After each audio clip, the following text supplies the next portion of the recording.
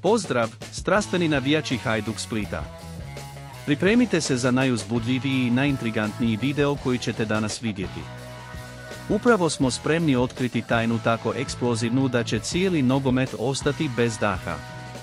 Ali, pogodite što, prijatelji moji, još uvijek neću sve odati.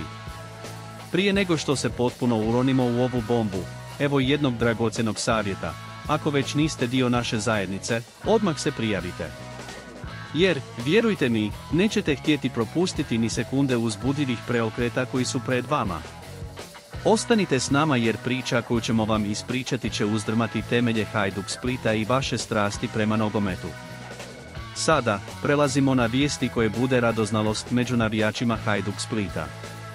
Možda su to samo špekulacije, ali istina je da je poljud danas ispunjen očekivanjima, a sve to ima veze s jednim imenom, Aleksandar Trajkovski. Je li moguće da će stići na liječničke preglede?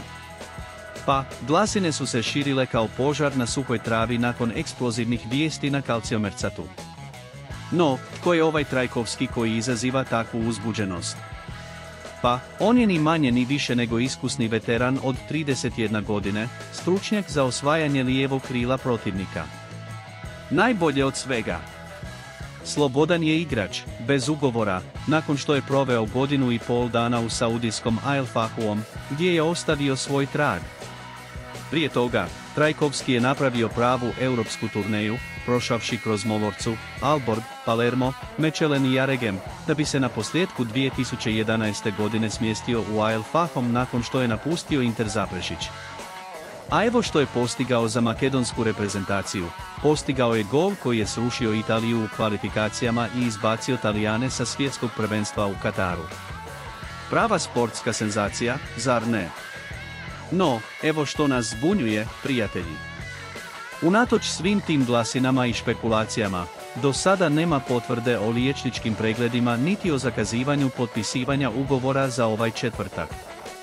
I tako, dragi moji, što zaokret?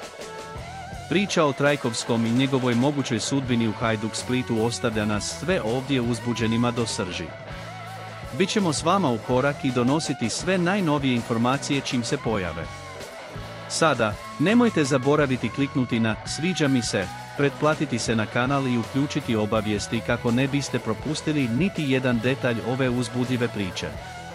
Ostanite u toku, podijelite s prijateljima i zajedno budimo uz Hajduk Split. Do sljedećeg puta, strastveni navijači!